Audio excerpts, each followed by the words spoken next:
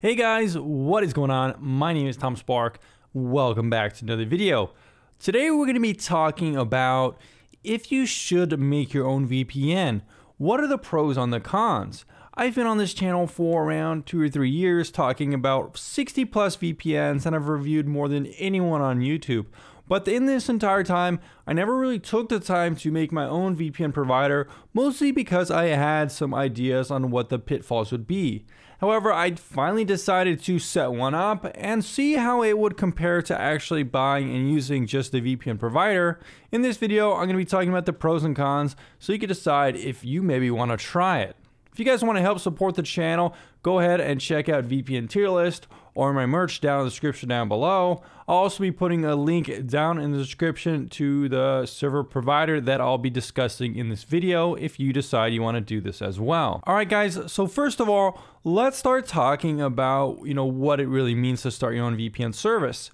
So usually when you're buying a consumer grade VPN, something like TorGuard, AirVPN, some other VPNs on my tier list, you're going to a website or a company and you're buying the access to their service. Then you download an application, you log in with the credentials, and you're pretty much good to go. It's very simple, pretty easy, and it's actually very noob friendly nowadays. However, when you want to set up your own VPN, what you're going to have to do is use something called a VPS service or a virtual private server.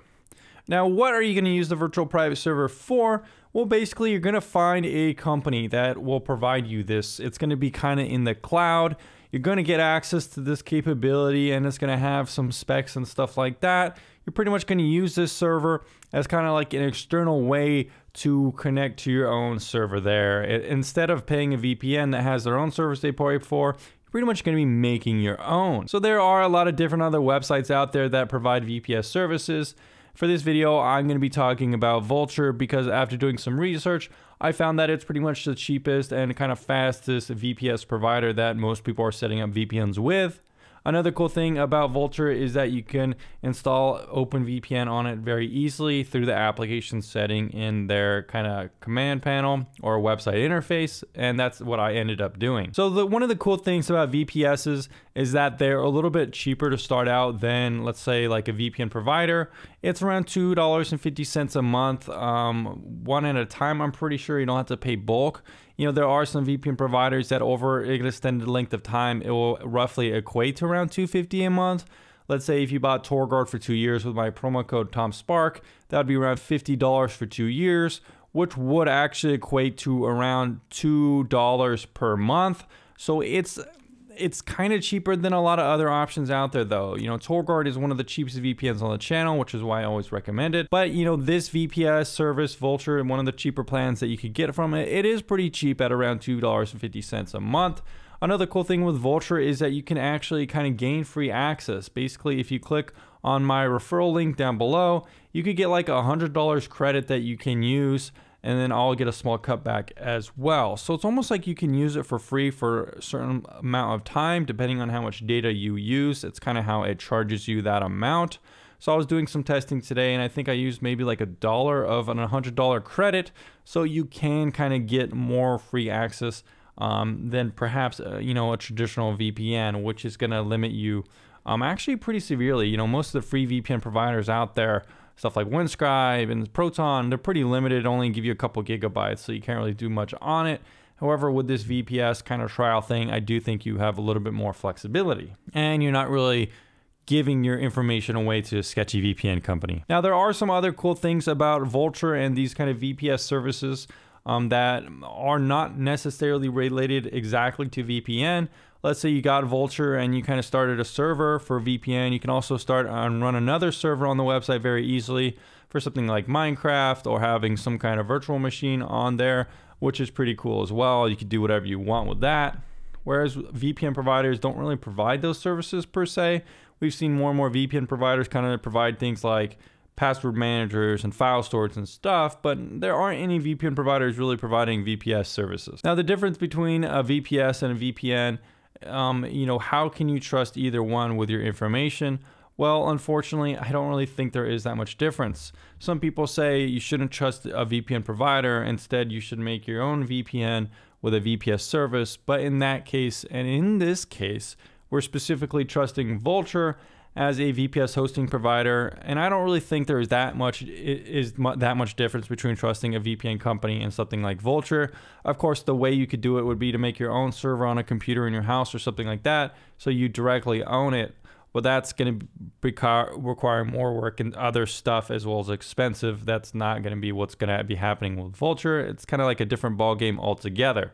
But I don't think it necessarily provides you with more anonymity or more protection legally than just buying a VPN from a VPN company. Another cool thing with um, a VPS is that when you're making your own VPN, you could do stuff like Linux terminals and you can pretty much enter in custom commands and install stuff like WireGuard. I tried to do this and I was tinkering around with it today, but it can require a decent amount of knowledge of Linux commands and stuff like that, interacting with a terminal and text-based editors. Um, it can be a little bit complicated. Um, not only that, but you're gonna have to install WireGuard on it with commands and stuff like that. Um, it's definitely not as easy as using WireGuard on traditional VPN providers. It is pretty cool that you can have some of that flexibility and install it yourself. I would have preferred that Vultr had a WireGuard application on their website like the OpenVPN application, but they don't have that yet, which is disappointing. Another thing about Vultr or signing up with your own VPN through a VPS is that you get like a specific IP. You get to pick like one location. Now, this can be a downside if you're someone who likes hopping around with normal VPN providers. However, having a specific IP and knowing what your IP always is can be useful when browsing the internet. Certain websites might start to recognize you and not lock you out. Although I did have the problem of certain websites like Bitly and Netflix not even working with a specific IP, which was actually a pretty big con. However, you know, banking websites, if they recognize this IP, maybe they will start letting you log in more. So theoretically, it might be useful sometimes to have one locked IP. You can also buy additional IPs as well on the website although the cost starts to add up. Now, one of the things that I was surprised with Vultr is that when I actually went into the control panel and just installed OpenVPN as an application on my server, it was actually very easy to set up. I just entered in the URL code of my server and then went to it, installed OpenVPN, and then uh, downloaded OpenVPN onto my computer as an application, and then I was able to connect to the server. It only took around five to 10 minutes and it was actually very easy, much easier than actually trying to set up WireGuard in my opinion. Um, but I still do think it's actually easier to do it traditionally with a VPN provider than having to do that. I do think it is easier just to download a VPN application and log in, especially with some easy ones um, like ExpressVPN, where you just copy and paste the code to log into the application.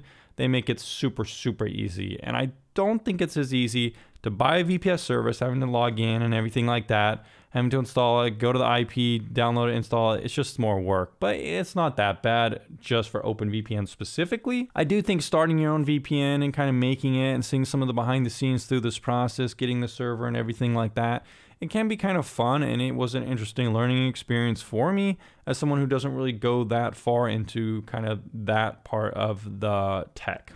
Now let's talk about some of the cons. Just like it's hard to decide which VPN to use, there are a lot of VPS providers and it's hard to find which one is best. Although I do think that Vultr is probably one of the higher regarded ones here that I've been researching that has pretty good speeds and good prices. Now I do think using a OpenVPN application on Vultr um, is pretty easy to use, but it doesn't have as much powerful features as something like TorGuard or AirVPN. Some of these clients have advanced kind of customization settings and cool things like kill switches and other customizations have built in that doesn't exist with just OpenVPN. I found that, like I mentioned already, certain websites didn't seem to work with my specific IP. Unfortunately, I couldn't get any streaming service to work. Stuff like Netflix wasn't even loading the page.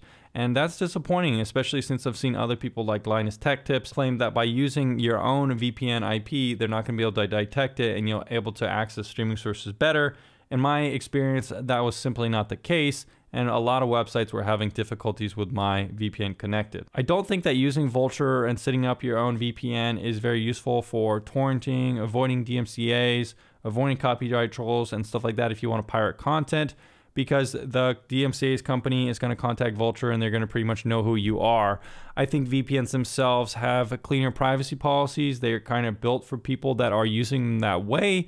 and they have kind of set up the infrastructure, especially some of these companies, um, that they do not collect logs and stuff like that. Where with, with Vultr's privacy policy, it's a little bit more confusing exactly, you know, what they're collecting on you and what they will give up when requested to do so. So I do not think that using Vultr and just because you're running your own VPN means that you're not beholden to anyone. Since you're still using a hosting provider, there still is liability that could get you in trouble and get you your name tossed around. Now, one of the biggest problems I had with my Vultr VPS server is since I got a pretty affordable plan, kind of in the same range as a normal shared VPN or consumer grade VPN, like I mentioned, I didn't get very good speeds. I was actually getting pretty mediocre speeds, actually very slow, probably by a factor of one fifth of what I can get with something like TorGuard. I was getting around seven to eight megabytes a second downloading a torrent, or with TorGuard, I could get around 30 to 40 megabytes a second. Not only that, but my ping was higher than normal. My download rate wasn't as good as I can get with normal VPN providers.